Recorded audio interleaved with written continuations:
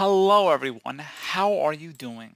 This is MD Tech here with another quick tutorial. And in today's tutorial I'm going to show you guys how to resolve the error code 651 that you are experiencing on your Windows 11 computer. Now this tutorial will apply for earlier versions of Windows as well.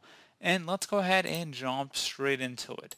So all you have to do is start by opening up the search icon type in settings. Best result should come back with settings. Go ahead and open that up. Now on the left side, you want to select the menu icon up at the top and then select network and internet. Go down on the right and select advanced network settings. Select network reset. Reset all network adapters to factory settings. This will remove and reinstall all of your network adapters and set other networking components back to their original settings. You might need to reinstall other networking software afterwards, such as VPN client software or virtual switches.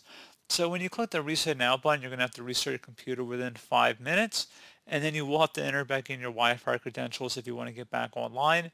So just take note of that, and then go ahead and select Reset Now. I show you want to reset your network settings. Go ahead and select Yes.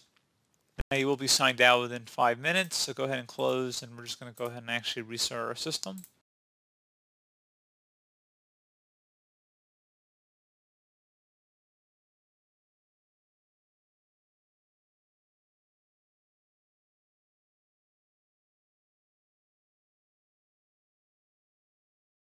Okay guys, there you go. So hopefully that was able to resolve your problem.